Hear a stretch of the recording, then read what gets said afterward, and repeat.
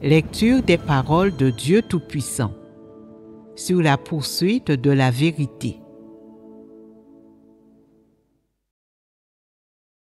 Comment poursuivre la vérité? 4. Parlons maintenant de la maladie. Concernant cette vieille chair de l'homme, peu importe la maladie que les gens contractent, peu importe s'ils peuvent aller mieux et dans quelle mesure ils souffrent, rien de cela ne dépend d'eux, tout est entre les mains de Dieu. Quand tu tombes malade, si tu te soumets aux orchestrations de Dieu et que tu es disposé à endurer et à accepter ce fait, alors tu auras quand même cette maladie. Si tu n'acceptes pas ce fait, tu ne pourras quand même pas te débarrasser de cette maladie, c'est un fait. Tu peux faire face à ta maladie de manière positive pendant une journée ou y faire face de façon négative pendant une journée. C'est-à-dire que, quelle que soit ton attitude, tu ne peux rien changer au fait que tu es malade. Quel choix les gens intelligents font-ils? Et quel choix font les gens stupides? Les gens stupides choisiront de vivre en éprouvant des sentiments de désarroi, d'angoisse et d'inquiétude. Ils s'enliseront même dans ces sentiments et n'auront pas le désir de s'en dégager. Ils n'écoutent aucun des conseils qu'on leur donne et se demandent Oh, Comment ai-je attrapé cette maladie? Est-elle due à la fatigue? Est-elle due à l'inquiétude? Ou bien est-elle due à l'inhibition? Chaque jour, ils se demandent comment ils sont tombés malades et quand cela a commencé. Ils se disent, pourquoi ne l'ai-je pas remarqué? Comment ai-je pu être aussi stupide et accomplir mon devoir aussi honnêtement? Les autres font un bilan de santé chaque année. Ils se font au moins prendre la tension artérielle et radiographier. Comment ne me suis-je pas rendu compte que je devais me faire examiner? Les autres vivent en faisant vraiment attention. Comment se fait-il que je vive de façon aussi obtuse? J'ai contracté cette maladie et je ne le savais même pas. Oh, il faut que je me fasse soigner. Quel traitement puis-je obtenir? Ensuite, ils cherchent sur Internet comment ils ont contracté cette maladie, quelle en est la cause, comment la traiter avec la médecine chinoise, comment la traiter avec la médecine occidentale et quels remèdes populaires existent. Ils font des recherches sur toutes ces choses. Ensuite, ils utilisent la médecine chinoise, puis la médecine occidentale chez eux. Ils prennent toujours au sérieux le fait d'être tombés malades, ils sont angoissés et impatients à ce sujet et avec le temps, ils cessent d'accomplir leur devoir, ils jettent aux orties leur foi en Dieu, ils cessent de croire et ils ne pensent plus qu'à la manière de guérir de leur maladie. Leur devoir désormais, c'est de guérir de leur maladie. Ils sont consumés par leur maladie, ils sont bouleversés chaque jour à l'idée d'être tombés malades et quand ils voient quelqu'un, ils lui disent ⁇ Oh, j'ai attrapé cette maladie de telle façon. Que ce qui m'arrive vous serve de leçon. Quand vous tombez malade, vous devez aller vous faire examiner et vous faire soigner. Prendre soin de votre santé est ce qu'il y a de plus important. Vous devez avoir de la jugeote et vous ne devez pas vivre de manière trop obtuse. Ils disent cela à tous ceux qu'ils rencontrent. En tombant malade, Ils font cette expérience et en tirent cette leçon. Une fois malades, ils font attention à ce qu'ils mangent et ils font attention quand ils se promènent et ils apprennent à prendre soin de leur propre santé. Au bout du compte, ils arrivent à la conclusion suivante. Les gens doivent compter sur eux-mêmes pour prendre soin de leur propre santé. Je n'ai guère accordé d'attention à ma santé ces dernières années et dès que j'ai été inattentif, j'ai attrapé cette maladie. Heureusement, je m'en suis aperçu rapidement. Si je m'en étais rendu compte plus tard, j'aurais été cuit. Ce serait vraiment malheureux de tomber malade et de mourir jeune. Je n'ai pas encore pu profiter de la vie. Il y a tellement de bonnes choses à manger que je n'ai pas encore mangé et tellement d'endroits sympas où je ne suis pas encore allé. Il tombe malade et en tire cette conclusion. Il tombe malade, mais n'en meurt pas, et il se croit intelligent et croit qu'ils se sont aperçus de cette maladie à temps. Ils ne disent jamais que tout cela dépend de la souveraineté de Dieu et est prédéterminé par lui, et que si quelqu'un n'est pas censé mourir, alors quelle que soit la gravité de sa maladie, il ne peut tout de même pas mourir, et que si quelqu'un est censé mourir, alors il mourra, même sans tomber malade. Ils ne comprennent pas cela. Ils croient que leur maladie les a rendus intelligents, alors qu'en réalité, ils vont trop loin avec leur intelligence et ils sont vraiment stupides. Quand les gens qui poursuivent la vérité sont confrontés à la maladie, s'enlisent-ils dans des sentiments de désarroi, d'angoisse et d'inquiétude? Quelle approche adopteront-ils face à la maladie? D'abord, ils sont capables de se soumettre, puis, tandis qu'ils sont malades, ils cherchent à comprendre la volonté de Dieu et réfléchissent à leur tempérament corrompu. Ces quelques paroles peuvent-elles résoudre le problème? S'ils ne font que réfléchir, ne devront-ils pas malgré tout se soigner également? Ils chercheront aussi à se faire soigner. Oui, s'il s'agit d'une maladie qui doit être traitée, d'une maladie grave, ou d'une maladie qui pourrait s'aggraver si l'on ne cherche pas un traitement, alors elle doit être traitée. C'est ce que font les gens intelligents. Les gens stupides qui ne sont pas malades s'inquiètent toujours. Oh, pourrais-je tomber malade? Et si je tombe malade, cela va-t-il empirer? Vais-je attraper cette maladie? Et si j'attrape cette maladie, est-ce que je mourrai prématurément? Est-ce que ce sera très douloureux quand je mourrai? Aurai-je une vie heureuse? Si j'attrape cette maladie, dois-je alors prendre des dispositions avant ma mort et profiter de la vie dès que possible Les gens stupides sont souvent bouleversés, angoissés, et inquiets à propos de ce genre de choses. Ils ne cherchent jamais la vérité ni les vérités qu'ils devraient comprendre dans ce domaine.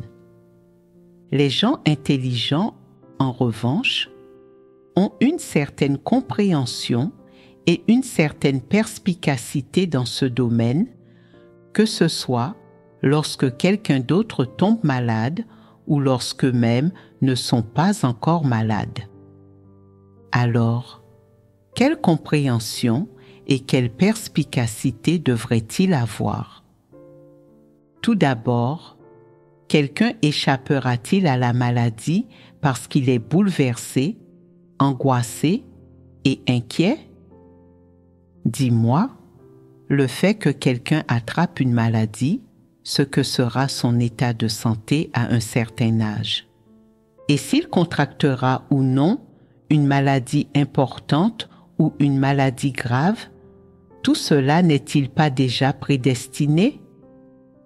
Si, à coup sûr, je peux te le dire. Nous ne discuterons pas maintenant de la façon dont Dieu prédestine les choses pour toi. L'apparence des gens, les traits de leur visage, leur forme corporelle et leur date de naissance sont clairement connus de tous. Les devins et astrologues non-croyants et ceux qui peuvent lire dans les étoiles et dans la paume de la main peuvent savoir, d'après la paume de la main des gens, leur visage et leur date de naissance, quand ces gens subiront un désastre et quand ils connaîtront le malheur. Ces choses ont déjà été déterminées.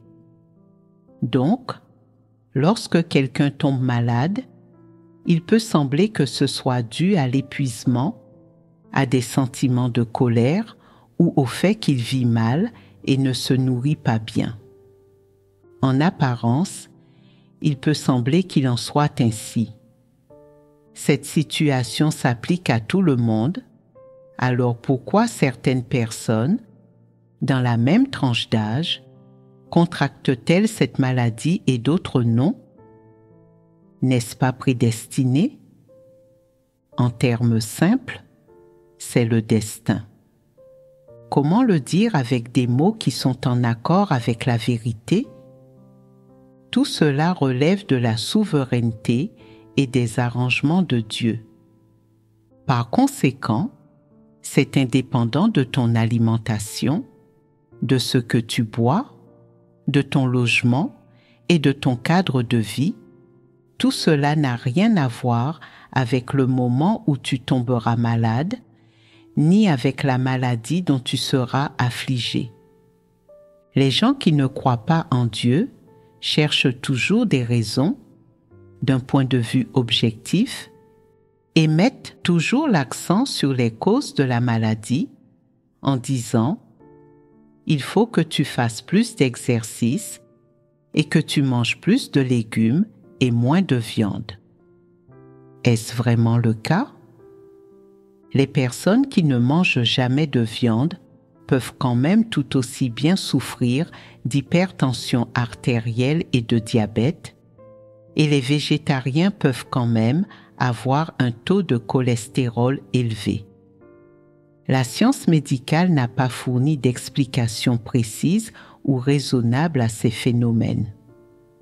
Permets-moi de te le dire, les différents aliments que Dieu a créés pour l'homme sont des aliments que l'homme est censé manger. Simplement, n'en mange pas à l'excès, mange-en avec modération il est nécessaire d'apprendre à prendre soin de sa santé, mais c'est une erreur que de vouloir sans cesse analyser comment prévenir la maladie.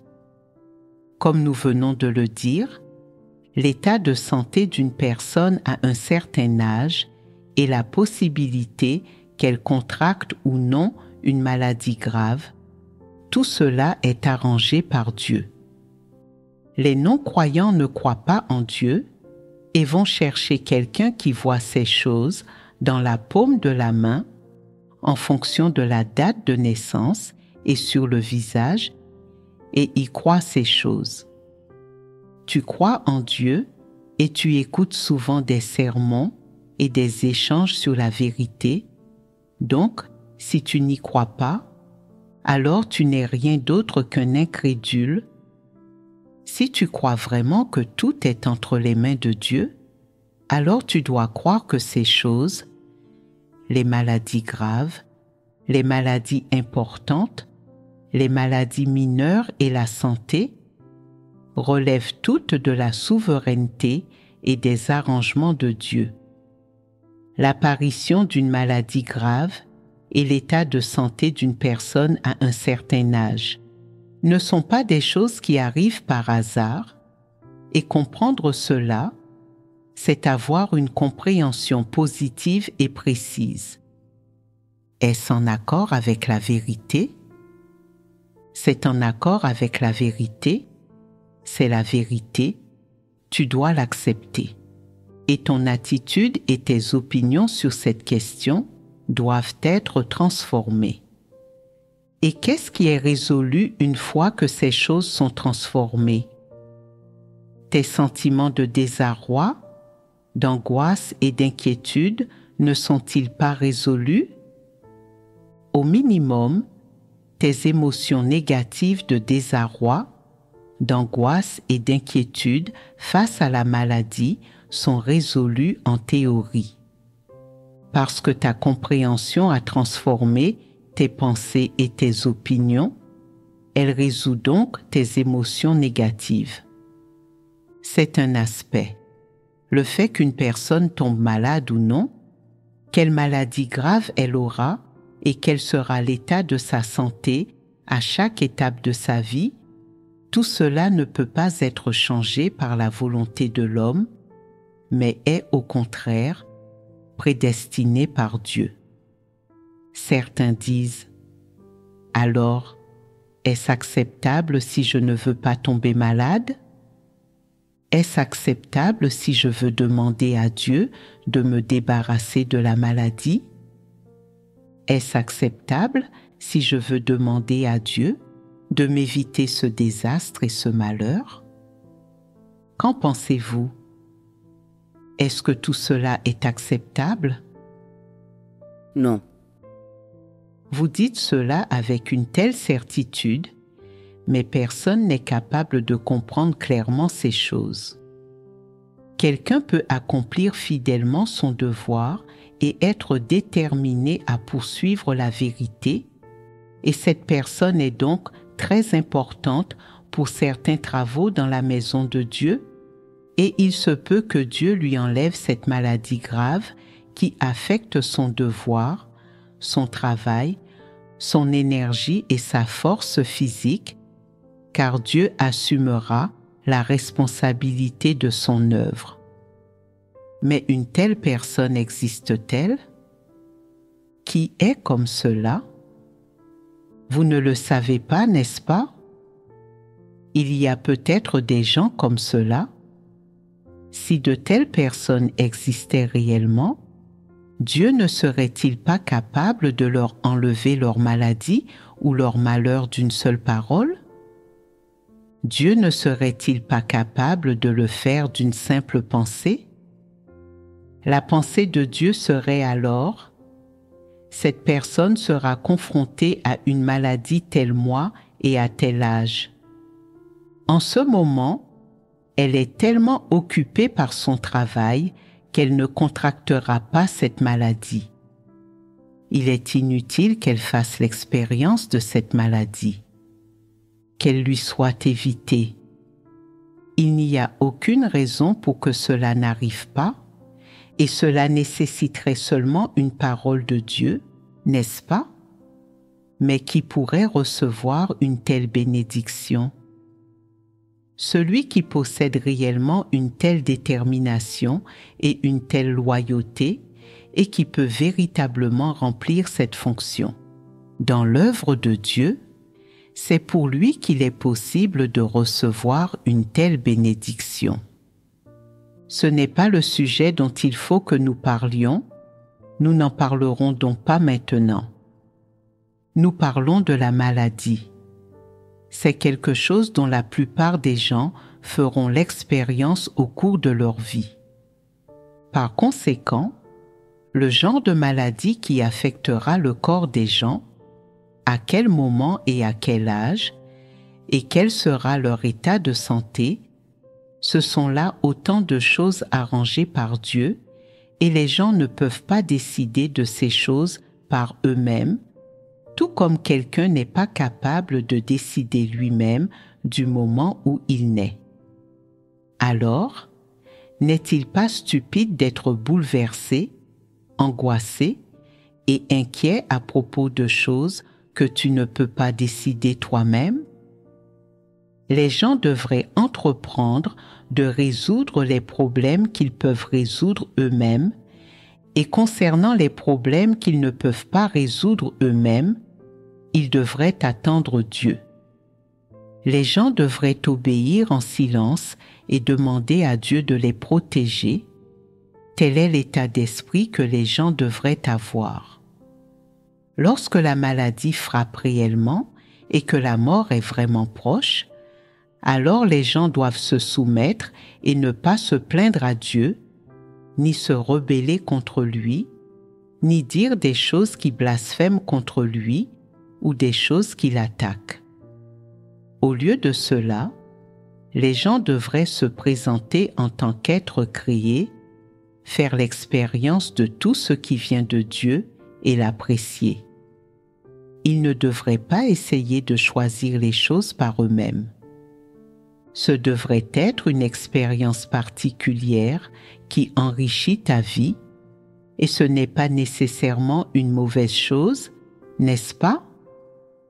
Par conséquent, lorsqu'il s'agit de la maladie, les gens devraient d'abord résoudre leurs pensées et opinions erronées concernant l'origine de la maladie et alors ils ne s'en soucieront plus.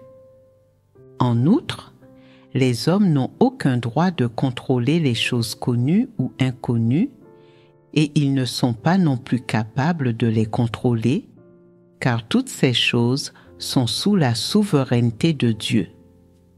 L'attitude et le principe de pratique que les gens devraient avoir, c'est d'attendre et de se soumettre.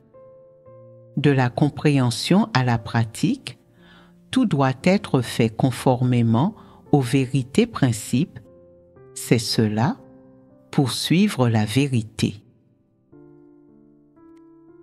Certains s'inquiètent toujours à propos de leur maladie et se demandent Si ma maladie s'aggrave, serais-je capable de le supporter? Si mon état se dégrade, cela me coûtera-t-il la vie?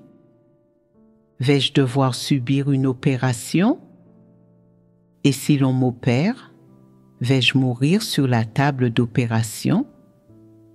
Je me suis soumis. Dieu m'ôtera-t-il la vie du fait de cette maladie? À quoi bon penser ces choses? Si tu ne peux pas t'empêcher de penser ces choses, alors tu devrais prier Dieu.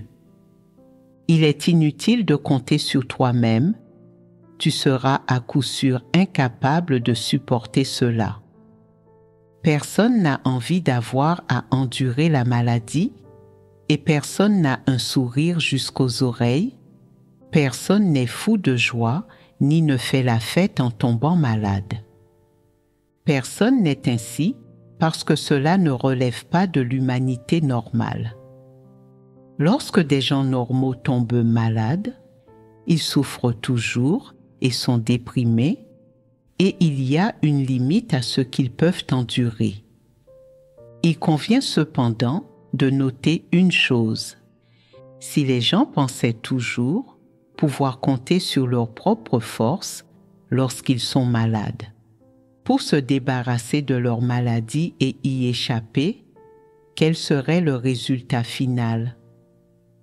Outre être malade, ne souffrirait-il pas encore plus et ne serait-il pas encore plus déprimé? C'est pourquoi plus les gens se retrouvent pris par la maladie, plus ils doivent chercher la vérité et plus ils doivent chercher comment pratiquer pour être en accord avec l'intention de Dieu. Plus les gens sont pris par la maladie, plus ils doivent venir devant Dieu et connaître leur propre corruption et les exigences déraisonnables qu'ils ont vis-à-vis de Dieu. Plus tu es pris par la maladie, plus ta véritable soumission est mise à l'épreuve. Par conséquent, lorsque tu es malade, ta capacité à continuer à te soumettre aux orchestrations de Dieu et à te rebeller contre tes propres récriminations et exigences déraisonnables. Montre que tu es quelqu'un qui poursuit vraiment la vérité et qui se soumet vraiment à Dieu, que tu portes témoignage, que ta fidélité et ta soumission à Dieu sont réelles et satisfont aux critères, et que ta fidélité et ta soumission à Dieu ne sont pas que des slogans et de la doctrine. Voilà ce que les gens devraient pratiquer lorsqu'ils tombent malades. Lorsque tu tombes malade, c'est pour révéler toutes tes exigences déraisonnables, ton imagination et tes notions irréalistes sur Dieu, et c'est aussi pour éprouver ta foi en Dieu et ta soumission à Dieu. Si tu réussis le test dans ces domaines, alors tu as un vrai témoignage et une preuve réelle de ta foi en Dieu, de ta fidélité envers Dieu et de ta soumission à Dieu. C'est ce que Dieu veut et c'est ce qu'un être créé devrait posséder et vivre. Ces choses ne sont-elles pas toutes positives? Toutes sont des choses que les gens devraient poursuivre. De plus, si Dieu permet que tu tombes malade, ne peut-il pas également te débarrasser de ta maladie à tout moment? Et en tout lieu Dieu peut te débarrasser de ta maladie à tout moment et en tout lieu. Alors, ne peut-il pas également faire en sorte que ta maladie persiste en toi et ne te quitte jamais? Et si Dieu fait en sorte que cette même maladie ne te quitte jamais, peux-tu quand même accomplir ton devoir? Peux-tu conserver ta foi en Dieu? N'est-ce pas un test? Si tu tombes malade et qu'ensuite, au bout de plusieurs mois, tu te rétablis, alors ta foi en Dieu, ainsi que ta fidélité envers Dieu et ta soumission à Dieu, ne sont pas mises à l'épreuve et tu n'as aucun témoignage. Il est facile d'endurer la maladie pendant quelques mois, mais si ta maladie persiste pendant deux ou trois ans, et que ta foi et ton désir d'être soumis et fidèle à Dieu ne changent pas, et qu'ils deviennent au contraire plus réels, cela ne montre-t-il pas que tu as grandi dans ta vie? N'en récoltes-tu pas les fruits? Donc, quand quelqu'un qui poursuit réellement la vérité est malade, il reçoit les innombrables bienfaits apportés par sa maladie et en fait personnellement l'expérience. Il ne cherche pas, avec angoisse, à échapper à sa maladie et ne s'inquiète pas de savoir ce que sera le résultat si sa maladie se prolonge, quel problème elle entraînera si elle s'aggravera ou s'il mourra, il ne s'inquiète pas de ce genre de choses. Outre qu'il ne s'inquiète pas de telles choses, il est capable d'entrer de manière positive, d'avoir une vraie foi en Dieu et de lui être vraiment soumis et fidèle. En pratiquant ainsi, il en vient à avoir un témoignage, ce qui est aussi grandement bénéfique à son entrée dans la vie et à son changement de tempérament, et cela pose une base solide pour l'obtention de son salut, comme c'est merveilleux. Par ailleurs, la maladie peut être majeure ou mineure, mais qu'elle soit majeure ou mineure, elle épure toujours les gens. Après avoir souffert d'une maladie, les gens ne perdent pas leur foi en Dieu, ils sont soumis et ne se plaignent pas, leur comportement est fondamentalement acceptable. Et ensuite, une fois la maladie passée, ils récoltent ce qu'ils ont semé et sont très contents. Voilà ce qui arrive quand les gens sont confrontés à une maladie ordinaire. Ils ne sont pas malades longtemps et sont capables de la supporter et fondamentalement, la maladie reste dans les limites de ce qu'ils peuvent endurer. Il existe cependant des maladies qui, même si elles s'améliorent après un certain temps de traitement, réapparaissent et empirent. Cela se produit encore et toujours jusqu'à ce que finalement la maladie atteigne un tel degré qu'elle ne peut plus être soignée et que tous les moyens dont dispose la médecine moderne ne sont d'aucune utilité. Quel degré la maladie atteint-elle? Elle atteint le point où la personne atteinte peut mourir en tout lieu et à tout moment. Qu'est-ce que cela signifie? Cela signifie que la vie de cette personne est limitée. Ce n'est pas un moment où la personne n'est pas malade, où la mort est lointaine et où il n'y a aucune conscience de la mort, mais plutôt un moment où la personne sent que le jour de sa mort est proche et qu'elle fait face à la mort. Faire face à la mort annonce l'arrivée du moment le plus difficile et le plus crucial de la vie d'une personne. Alors, que fais-tu? Ceux qui se sentent bouleversés, angoissés et inquiets seront constamment bouleversés, angoissés et inquiets quant à leur mort, jusqu'à ce que le moment le plus difficile de leur vie finisse par arriver et que la chose au sujet de laquelle ils étaient bouleversés, angoissés et inquiets devienne enfin une réalité. Plus ils craignent la mort, plus la mort se rapproche et moins ils veulent affronter la mort si tôt, et pourtant, de manière inattendue, la mort les attaque par surprise. Que doivent-ils faire? Essaient-ils de fuir la mort, de la rejeter, de s'y opposer, de s'en plaindre, ou essaient-ils de conclure un marché avec Dieu? Laquelle de ces méthodes sera efficace? Aucune ne le sera, et leur désarroi et leur angoisse sont inutiles. Quelle est la chose la plus triste quand ils atteignent le moment de leur mort? Avant, ils adoraient manger du porc rouge braisé, mais ces dernières années, ils n'en ont plus beaucoup mangé, ils ont énormément souffert et ils sont en fin de vie. Ils pensent au porc rouge braisé et ont envie d'en manger à nouveau, mais leur santé ne le leur permet pas et ils ne peuvent pas en manger, c'est trop gras. Avant, ils adoraient se rendre attrayants et bien s'habiller. Maintenant, ils sont sur le point de mourir et tout ce qu'ils peuvent faire, c'est contempler leur placard rempli de jolis vêtements sans pouvoir en porter aucun. Comme la mort est triste. La mort est la chose la plus pénible entre toutes, et quand ils y pensent, c'est comme si on leur remuait un couteau dans le cœur et que tous les os de leur corps se transformaient en gelée.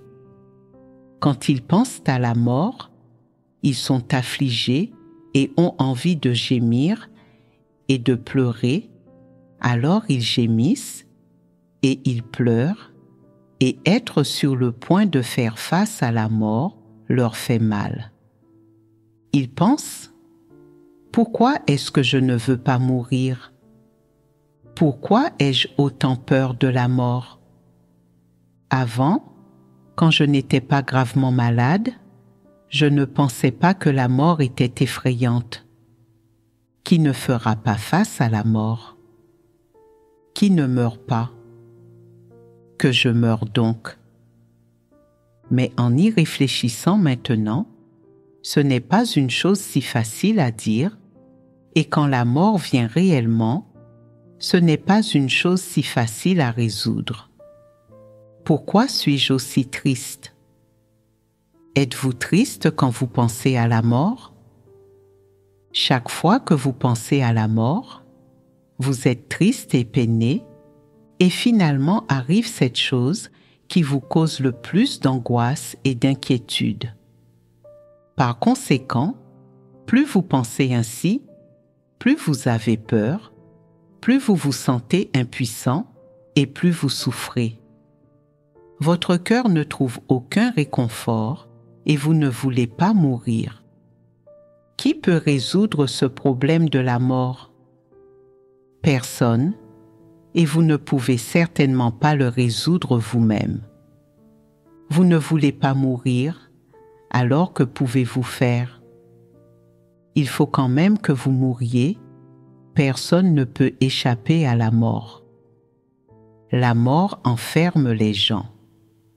Dans leur cœur, ils ne veulent pas mourir, mais tout ce à quoi ils pensent jamais, c'est à la mort, et n'est-ce pas comme si l'on mourait avant même d'être mort? Peuvent-ils vraiment mourir? Qui oserait dire avec certitude quand il mourra ou en quelle année il mourra? Qui peut savoir ces choses? Certains déclarent Je me suis fait dire la bonne aventure et je connais l'année, le mois, le jour de ma mort et à quoi ressemblera ma mort. Oses-tu dire cela avec certitude? Tu ne peux pas le savoir avec certitude. Tu ne sais pas quand tu mourras et c'est secondaire. La question cruciale est de savoir quelle attitude tu adopteras quand ta maladie te rapprochera réellement de la mort. C'est une question que tu devrais méditer et à laquelle tu devrais réfléchir. Feras-tu face à la mort avec une attitude de soumission ou aborderas-tu la mort avec une attitude de résistance, de rejet ou de réticence? Quelle attitude dois-tu avoir? Une attitude de soumission. On ne peut pas parvenir à cette soumission et la mettre en pratique rien qu'en le disant. Comment peux-tu parvenir à cette soumission? Quelle compréhension faut-il que tu aies avant de pouvoir parvenir à une soumission volontaire? Ce n'est pas simple, n'est-ce pas? Alors, dites ce que vous avez sur le cœur.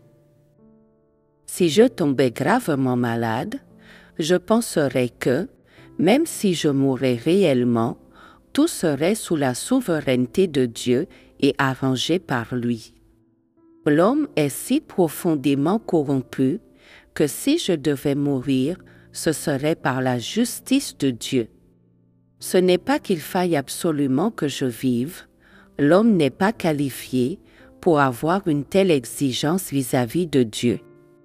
En plus de cela, je pense que maintenant que je crois en Dieu, Quoi qu'il arrive, j'ai vu le bon chemin dans la vie et j'ai compris tant de vérités que même si je devais mourir bientôt, tout cela en vaudrait la peine. Est-ce la bonne façon de penser? Cela constitue-t-il une théorie qui permet d'étayer tout cela Qui d'autre veut prendre la parole?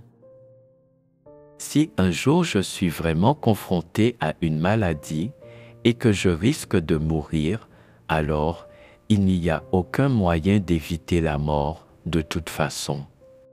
Il s'agit là de la prédestination et de la souveraineté de Dieu, et j'aurais beau m'en faire ou m'en inquiéter, cela ne servirait à rien. Je devrais passer le peu de temps qu'il me reste à me concentrer sur la façon dont je peux bien faire mon devoir. Même si je meurs vraiment, je n'aurai aucun regret. Être capable de me soumettre à Dieu et aux arrangements de Dieu à la toute fin est bien mieux que de vivre dans la peur et la terreur. Que pensez-vous de cette compréhension? N'est-ce pas un peu mieux? Si, en effet, c'est ainsi que tu devrais considérer la question de la mort. Tout le monde doit affronter la mort dans cette vie. Autrement dit, la mort est ce à quoi chacun doit faire face à la fin de son parcours. Cependant, la mort a de nombreux attributs différents. L'un d'entre eux est qu'à un moment prédéterminé par Dieu, tu as achevé ta mission et Dieu tire un trait sur ta vie charnelle et ta vie charnelle prend fin, même si cela ne signifie pas que ta vie soit terminée.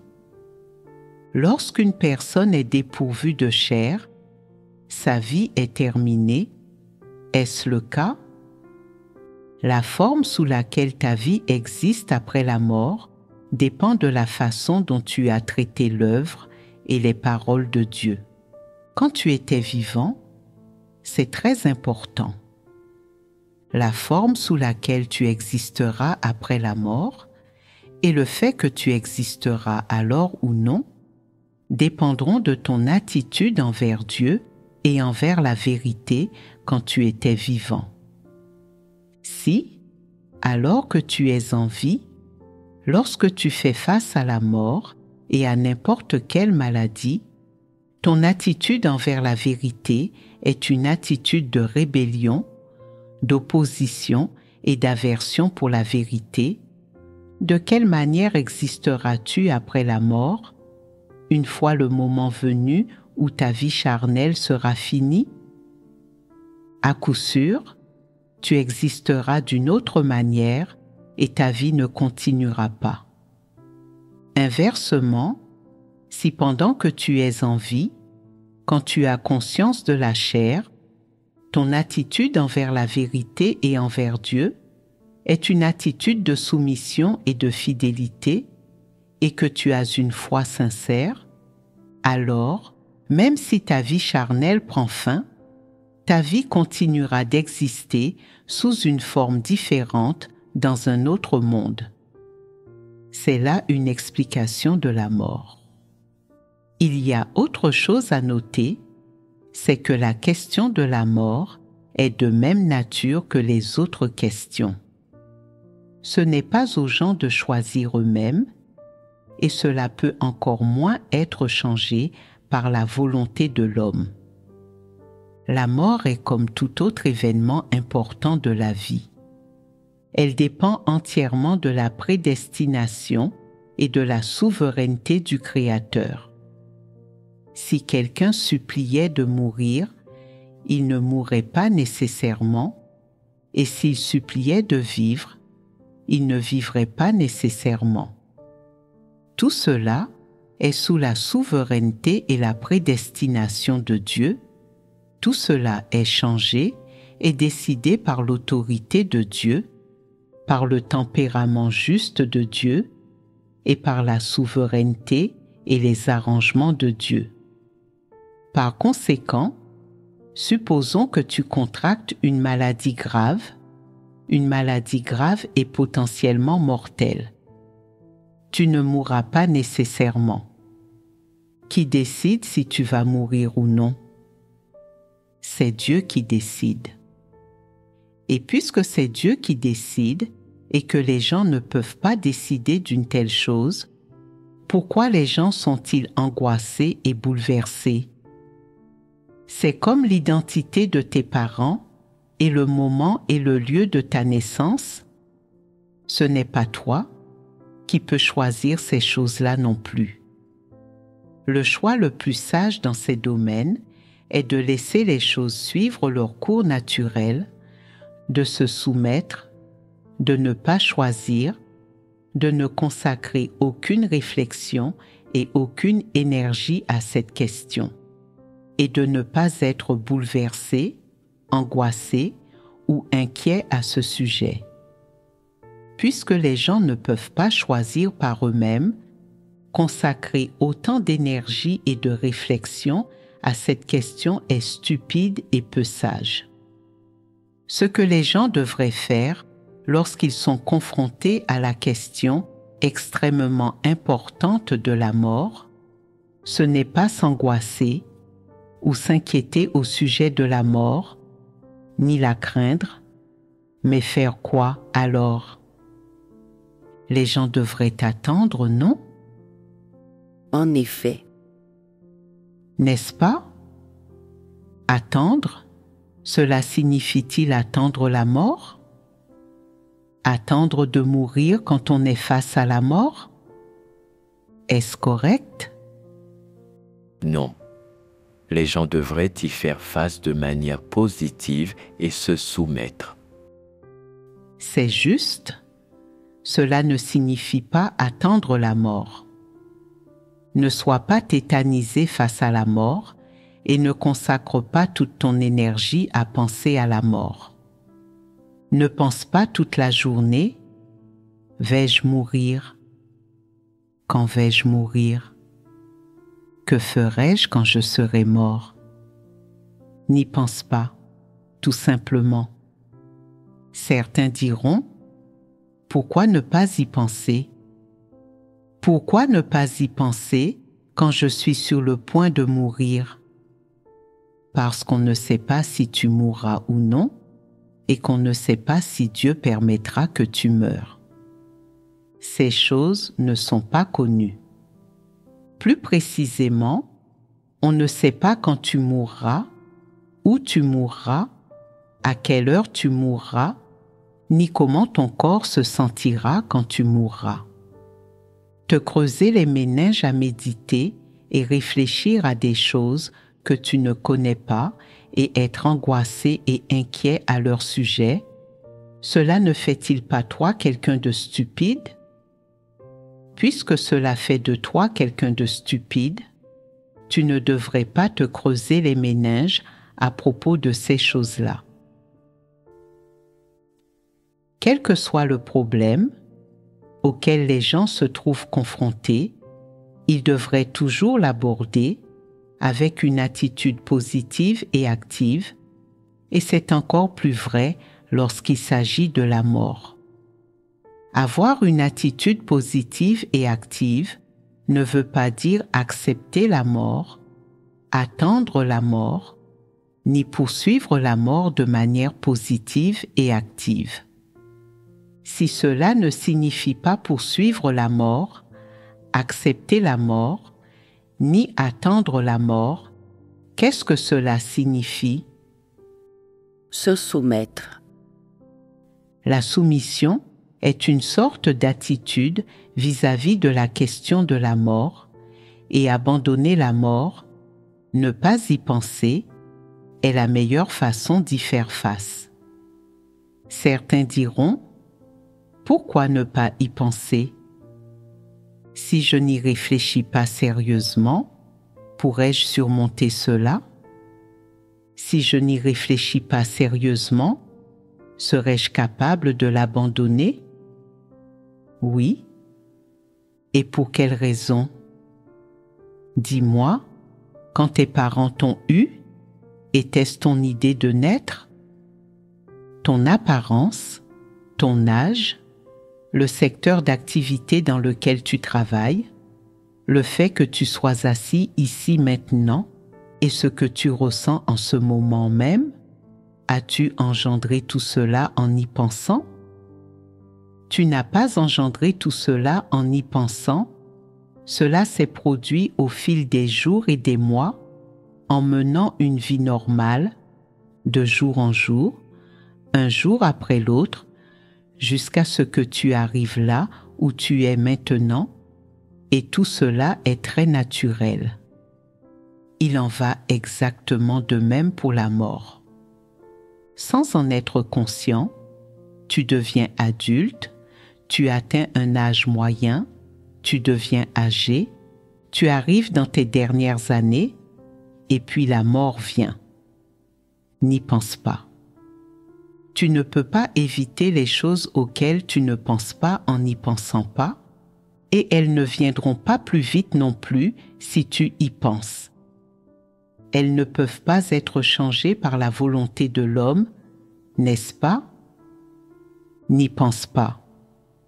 Qu'est-ce que je veux dire quand je dis n'y pense pas Je veux dire que si cette chose est réellement sur le point de se produire, dans un avenir proche, alors y penser sans arrêt sera pour toi comme une pression invisible. Cette pression te fera craindre la vie et le fait de vivre. Tu n'auras plus une attitude active et positive et au lieu de cela, tu seras encore plus déprimé. Parce qu'une personne confrontée à la mort n'éprouve aucun intérêt pour quoi que ce soit, ni n'a aucune attitude positive vis-à-vis de quoi que ce soit, elle est seulement déprimée.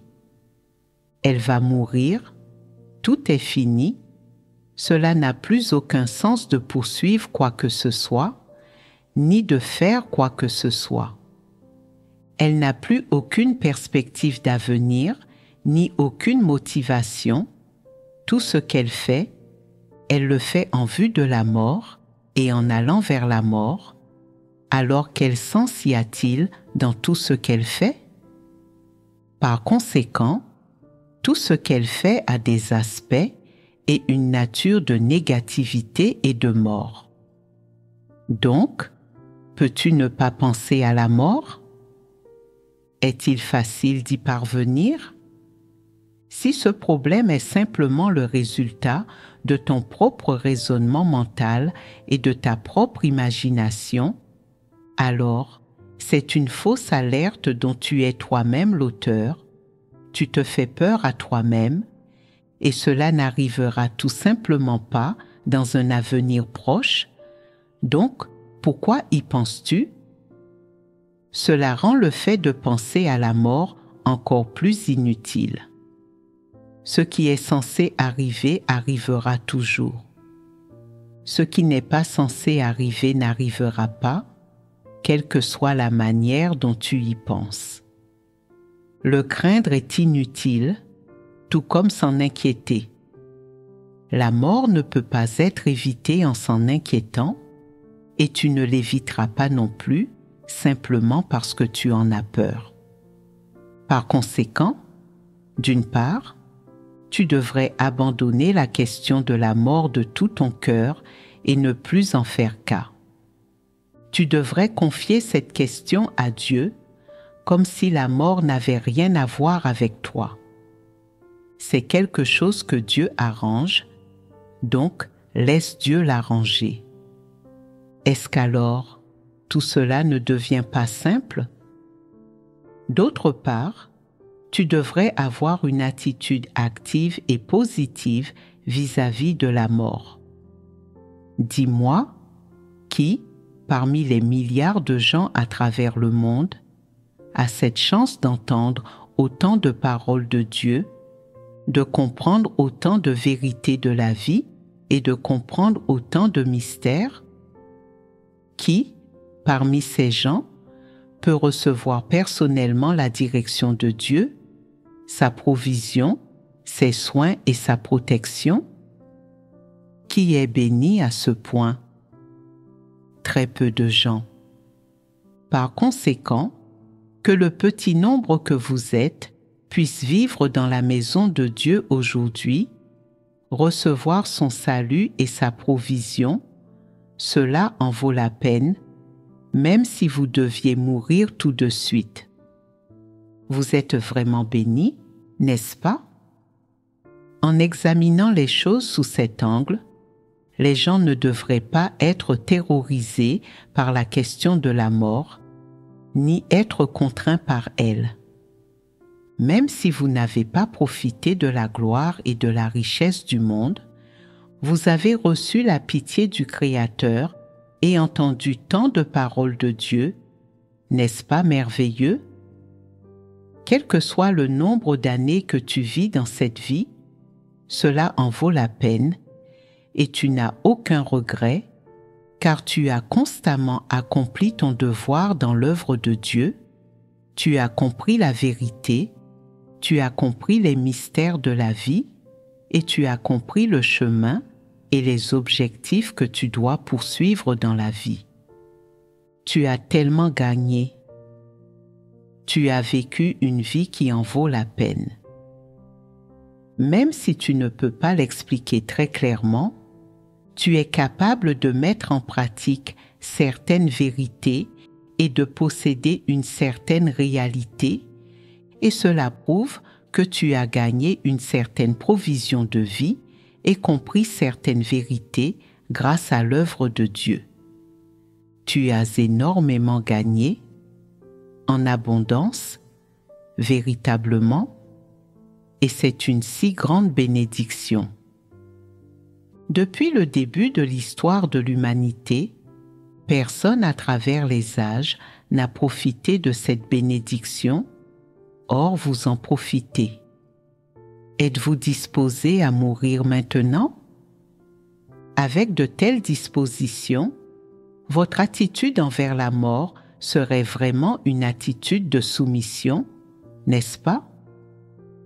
Un aspect des choses est que les gens doivent avoir une véritable compréhension. Ils doivent coopérer positivement et activement, se soumettre véritablement et avoir une attitude correcte face à la mort. De cette façon, les sentiments de désarroi, d'angoisse et d'inquiétude des gens face à la mort ne se trouvent-ils pas considérablement atténués? Ils sont considérablement atténués. Certains disent Je viens tout juste de finir d'écouter cet échange, mais je n'ai pas l'impression que ces sentiments se soient beaucoup atténués. Peut-être cela prend-il du temps.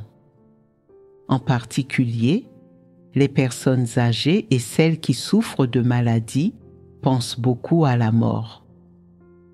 Les gens connaissent leurs propres difficultés. Certains, quand ils sont malades depuis longtemps, résument tout cela en se disant je crois en Dieu depuis toutes ces années et des gens qui avaient la même maladie que moi sont morts il y a longtemps. S'ils s'étaient réincarnés, ils auraient peut-être maintenant la vingtaine ou la trentaine. Je vis depuis tant d'années par la grâce de Dieu, tout cela m'a été librement offert.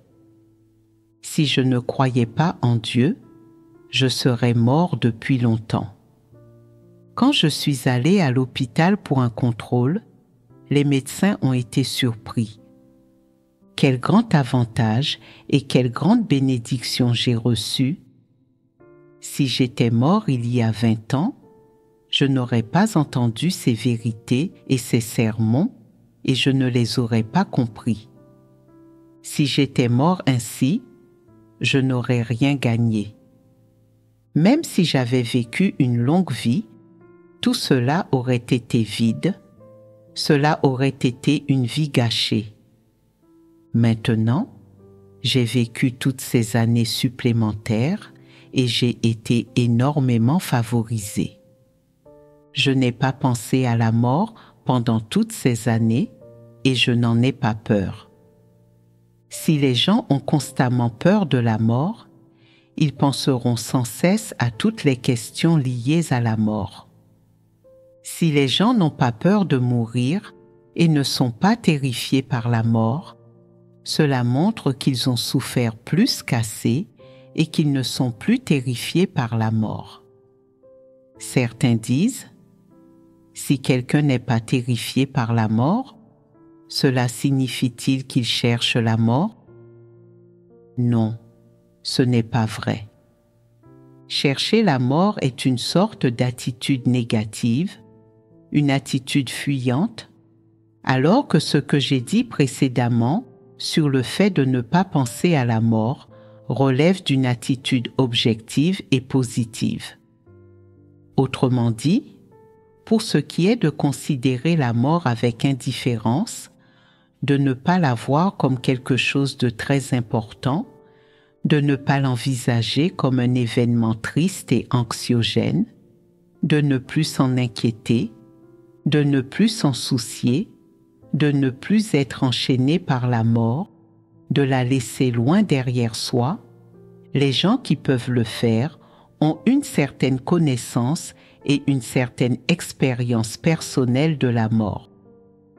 Si quelqu'un est constamment entravé et contraint par la maladie et la mort, s'il s'enlise sans cesse dans des émotions négatives de désarroi, d'angoisse et d'inquiétude, qu'il est incapable d'accomplir son devoir normalement ou de vivre normalement, alors il devrait écouter davantage les témoignages d'expérience qui concernent la mort.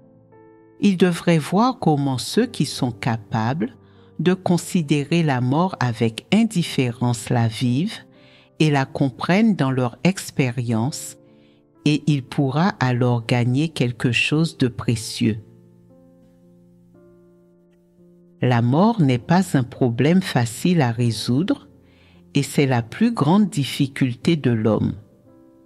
Si quelqu'un te dit tes tempéraments corrompus sont vraiment profonds et ton humanité n'est pas bonne non plus.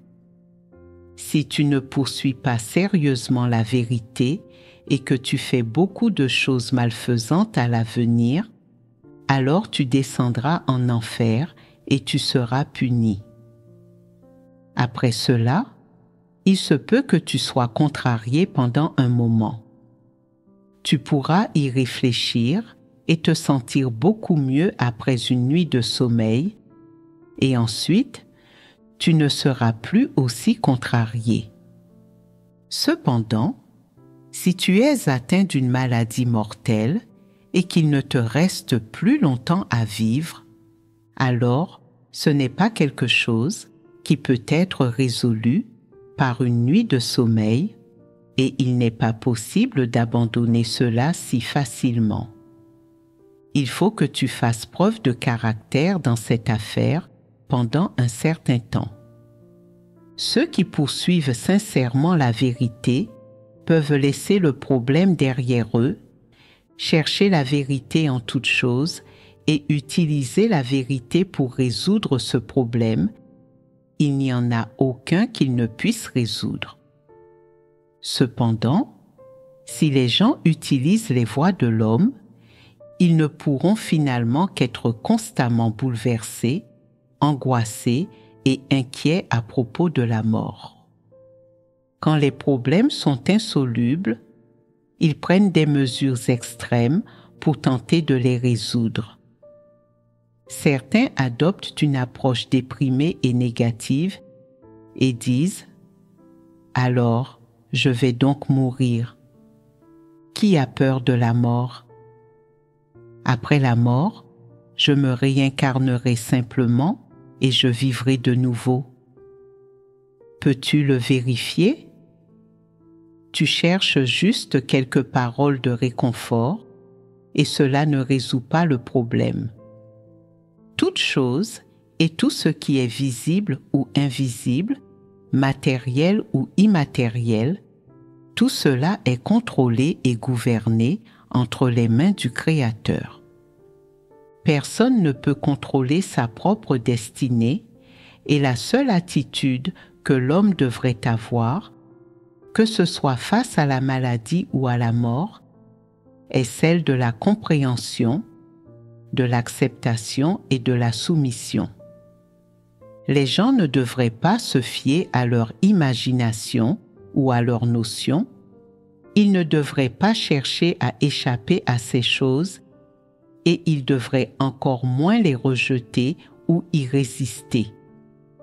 Si tu essaies aveuglément de résoudre les problèmes de la maladie et de la mort en utilisant tes propres méthodes, alors plus tu vivras longtemps, plus tu souffriras, plus tu seras déprimé et plus tu te sentiras piégé.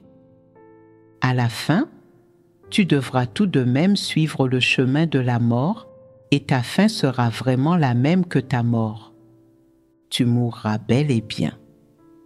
Si tu peux chercher activement la vérité et si tu peux, en ce qui concerne la compréhension de la maladie que Dieu a arrangée pour toi, ou le fait de faire face à la mort, chercher la vérité positivement et activement, chercher les orchestrations, la souveraineté et les arrangements du Créateur au sujet de ce genre d'événements majeurs, et parvenir à une véritable soumission, alors tout cela est conforme aux intentions de Dieu.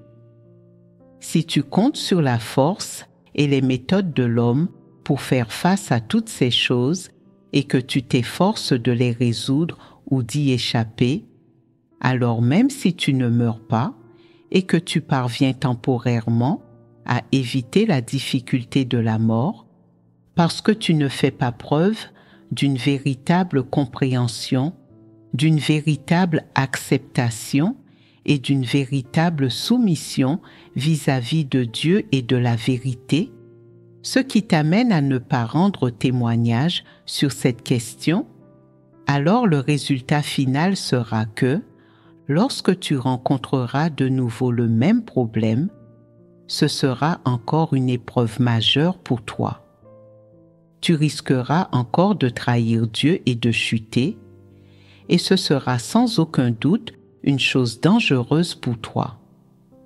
Par conséquent, si tu es réellement confronté à la maladie ou à la mort à présent, alors laisse-moi te dire qu'il est préférable de tirer profit de cette situation concrète dès maintenant pour chercher la vérité et résoudre ce problème à la racine au lieu d'attendre que la mort vienne vraiment et que tu sois alors pris au dépourvu, perdu, déconcerté et impuissant, ce qui t'amènerait à faire des choses que tu regretteras aussi longtemps que ta vie durera.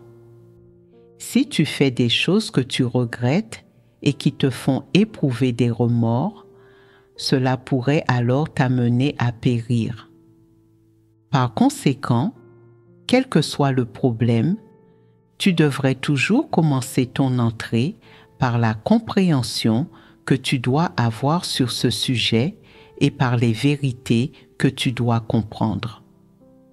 Si tu es constamment bouleversé, angoissé et inquiet à propos de choses telles que la maladie, et que tu vis en étant pris dans ce genre d'émotions négatives, alors tu devrais commencer à chercher la vérité dès maintenant et résoudre ces problèmes dès que possible. Les émotions négatives comme le désarroi, l'angoisse et l'inquiétude sont de même nature que divers autres types d'émotions négatives il y a toutes sortes d'émotions négatives qui surgissent chez les gens parce qu'ils ne comprennent pas la vérité et vivent enchaînés par leurs multiples tempéraments corrompus et sataniques, ou bien ces gens vivent en étant tourmentés et affectés par toutes sortes de pensées sataniques. Ces émotions négatives amènent les gens à vivre perpétuellement avec toutes sortes de pensées et d'opinions incorrectes, et à être constamment contrôlés par toutes sortes de pensées et d'opinions incorrectes, ce qui affecte et entrave leur poursuite de la vérité. Bien sûr, ces types d'émotions négatives de désarroi, d'angoisse et d'inquiétude perturbent la vie des gens, dirigent leur vie affectent leur poursuite de la vérité et les empêchent de poursuivre la vérité. Par conséquent, bien que ces émotions négatives soient de simples émotions, leur fonction ne doit pas être sous-estimée. L'effet qu'elles ont sur les gens et leurs conséquences sur la poursuite des gens et sur le chemin qu'ils suivent sont dangereux. Dans tous les cas, lorsque quelqu'un est souvent envahi par toutes sortes d'émotions négatives qui le perturbent, il doit immédiatement découvrir et disséquer la raison pour laquelle ces émotions négatives surviennent souvent et la raison pour laquelle il est souvent contrarié par ces émotions négatives. De plus, dans un environnement particulier, ces émotions négatives contrarieront constamment cette personne et perturberont considérablement sa poursuite de la vérité. Voilà ce que les gens devraient comprendre. Une fois qu'ils ont compris ces choses, la première chose qu'ils doivent faire est de réfléchir à la manière de chercher et de comprendre la vérité sur cette question de s'efforcer de ne pas continuer à être contrarié et affectés par ces pensées et opinions incorrectes et de les remplacer par les vérités principes que Dieu leur a enseignées. Une fois qu'ils ont compris les vérités principes, l'étape suivante, pour eux, consiste à pratiquer conformément aux vérités principes que Dieu leur a enseignées. Ce faisant, toutes leurs émotions négatives viendront peu à peu les perturber pour être alors progressivement résolues et faire l'objet de leur rébellion, l'une après l'autre, jusqu'à ce que, sans qu'ils en aient conscience, ils laissent toutes ces émotions négatives derrière eux. Donc, sur quoi repose la résolution des différentes émotions négatives? Elle repose sur leur dissection et leur compréhension par les gens, sur leur acceptation de la vérité et plus encore, sur leur poursuite et leur pratique de la vérité. N'en est-il pas ainsi? À mesure que les gens poursuivent et pratiquent progressivement la vérité, ils résolvent toutes leurs diverses émotions négatives et les abandonnent peu à peu. Alors, en examinant les choses maintenant, selon vous, qu'est-ce qui est le plus facile à abandonner et à résoudre? Ces diverses émotions négatives ou les tempéraments corrompus? Les émotions négatives sont plus faciles à résoudre. Vous pensez que les émotions négatives sont plus faciles à résoudre? Cela varie d'une personne à l'autre. L'un n'est pas plus difficile ou plus facile que l'autre, cela dépend simplement de la personne. Dans tous les cas, nous avons commencé par échanger sur l'abandon des émotions négatives, puis nous avons ajouté du contenu à la poursuite par les gens d'un changement de tempérament, à savoir l'abandon des diverses émotions négatives. L'abandon des émotions négatives vise principalement à résoudre certaines pensées et opinions incorrectes, tandis que la résolution des tempéraments corrompus nécessite une compréhension de l'essence des tempéraments corrompus. Dites-moi, qu'est-ce qui est le plus facile? Résoudre les émotions négatives ou résoudre les tempéraments corrompus? En fait, aucun des deux problèmes n'est facile à résoudre. Si tu es vraiment déterminé et que tu peux chercher la vérité, alors quel que soit le problème que tu essaieras de résoudre, ce ne sera plus du tout un problème. En revanche, si tu ne poursuis pas la vérité et que tu es incapable de sentir à quel point ces deux problèmes sont graves, alors ce ne sera pas facile, quel que soit le problème que tu essaieras de résoudre. Concernant ces choses négatives et défavorables, tu dois accepter la vérité, pratiquer la vérité et te soumettre à la vérité afin de les résoudre et de les remplacer par des choses positives. C'est toujours le processus et cela exige toujours que les gens se rebellent contre les choses négatives et qu'ils acceptent les choses positives et actives et les choses qui sont en accord avec la vérité.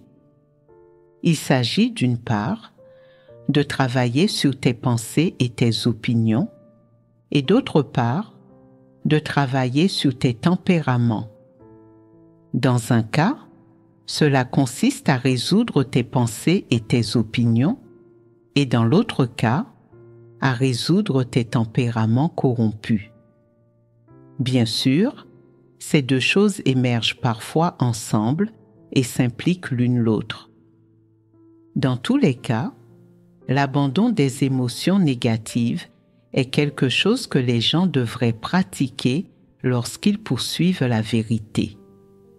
Bien, terminons ainsi l'échange d'aujourd'hui.